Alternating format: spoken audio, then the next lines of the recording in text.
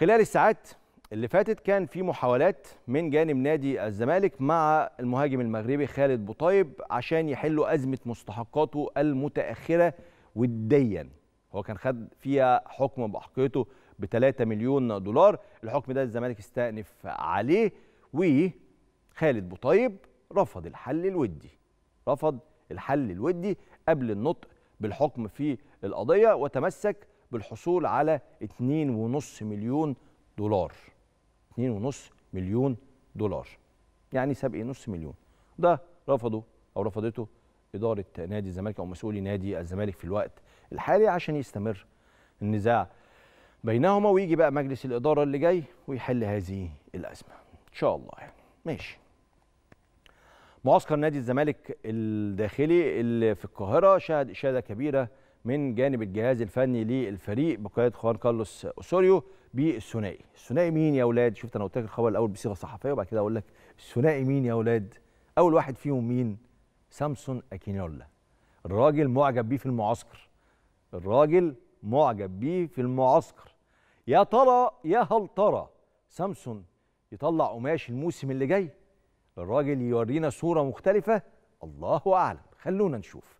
أشاد أيضا بمصطفى شلبي والأداء اللي بيشتغل بيه في المعسكر وشايف إن الاثنين ممكن يبقى ليهم مجهود أو شغل محترم في الموسم الجديد. طيب.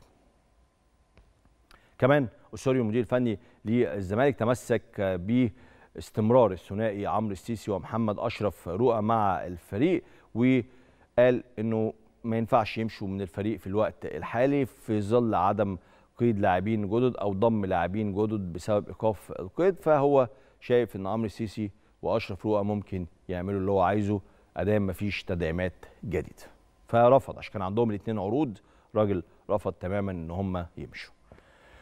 كمان المشكلة دي لسه قائمة كان دايما في وعود أو في كلام أو في خطوات إنها تتحل بس لسه قائمة. لاعبي أو لاعبو نادي الزمالك جددوا طلبهم لمسؤولي النادي بالحصول على مستحقاتهم المتأخرة قبل مباراة أرتا سولار في ذهاب دور 32 بالكونفدرالية الأفريقية.